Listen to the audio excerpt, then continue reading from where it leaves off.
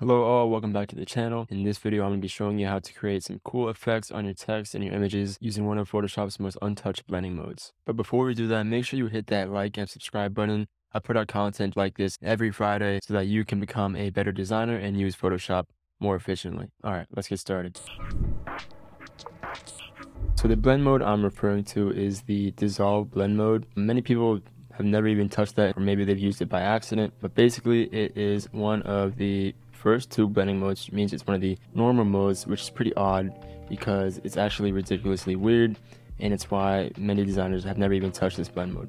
But I do want to show you some uses and implications for it, such as getting really cool noisy effects on your text and on your images. So here's an example of some stuff you can make just using the dissolve blend mode and some other tricks that I found out with it. You can see we get this really cool grainy blurred text and we got this cool pixelated image treatment for this image and you can play around with the size and the, the look of this grain and the noise. So how does dissolve work? It basically stochastically dithers your uh, layer according to its transparency channel. And since that is kind of word vomit, I'm just going to show you what I mean. So let's say I have this new layer here. Let's say I use a, a soft brush and I paint just a few dots here. And if I hide the background, you can clearly see that these are transparent so when we go back to our layer and we change it to dissolve, we can see that it kind of, it looks like bit mapping. It, um, it kind of recreates that transparency through dithering, through noise. So the main attraction of, of Dissolve is that it tries to display this kind of transparency or any transparency in terms of sort of a stochastic noise pattern. So I have this example image here and you'll see if I set this to dissolve, nothing's going to immediately happen to this image. It's going to stay the same, and that is because we don't have any transparency channel on this. But the moment you start to introduce attributes of transparency, such as changing the opacity, we can see that it dithers this layer into this noise pattern. But this looks like shit.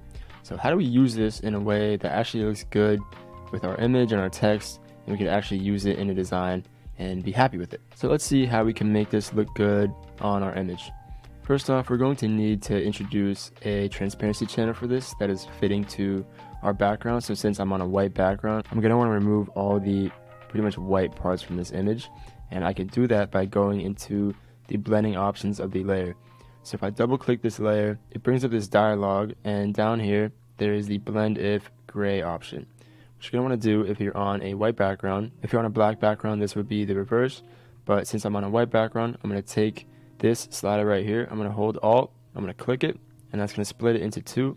I'm going to drag the left end part of it all the way down here. And that is going to give us the transparency we desire on our image. So I press OK on this and I turn off the background. You can see that we now have a transparency channel for this image. For some reason though, the dissolve blend mode still isn't working. And that is because we need a buffer between the layer effects of this layer and the dissolve blend mode. So we could do that by putting it in a group. So I'm going to change this back to normal blend mode and then I'm going to press Command G on my keyboard and I'm going to change the group blending mode to dissolve. And now we can see that it works.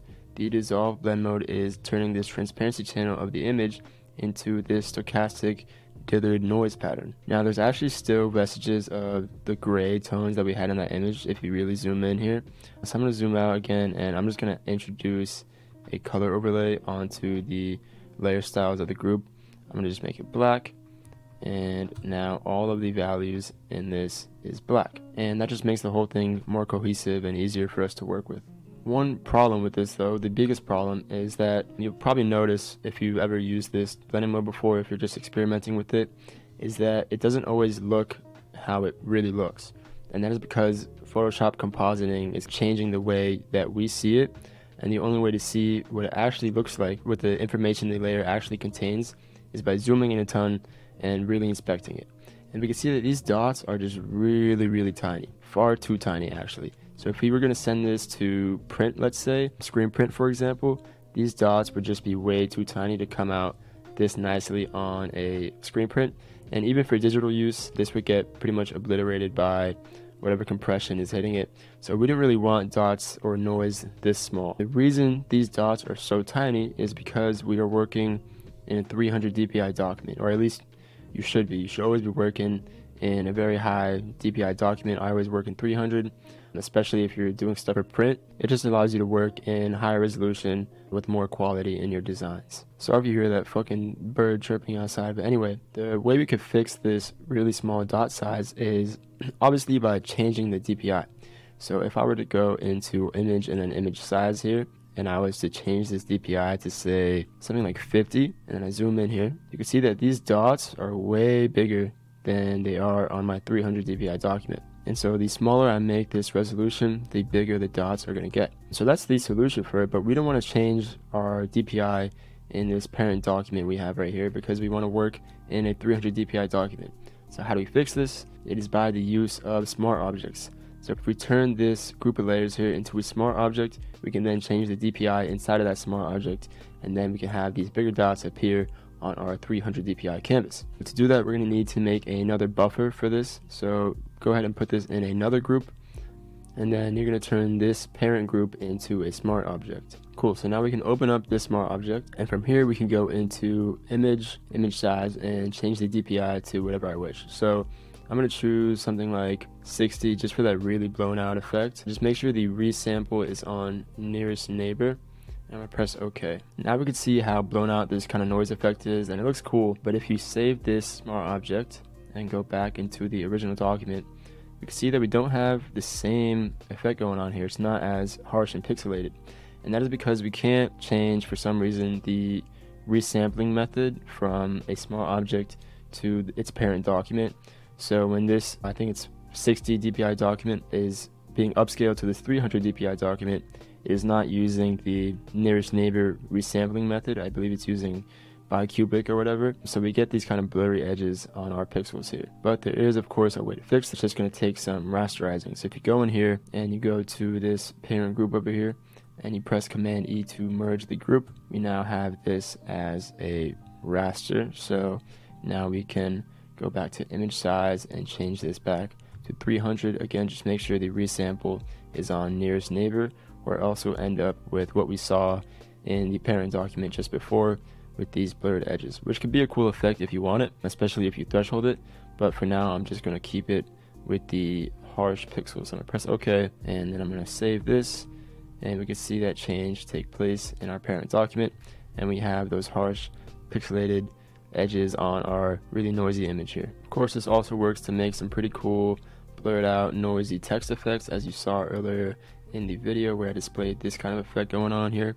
So once you get your text ready, go ahead and make it a smart object just by right clicking and converting it to a smart object. I'm going to add some blurs on this. You can choose whatever you want. My personal preference is just to use a field blur and then we'll do one point up top here and one down here at the bottom and turn the blur up a bit and that gets us that kind of gradient blur effect and I really like it so I'm gonna press OK. So now we've got a really fun blurred text. I'm going to set this to dissolve and then I'm to put this in a group by pressing command G on my keyboard. Then all we have to do is turn this group into a smart object.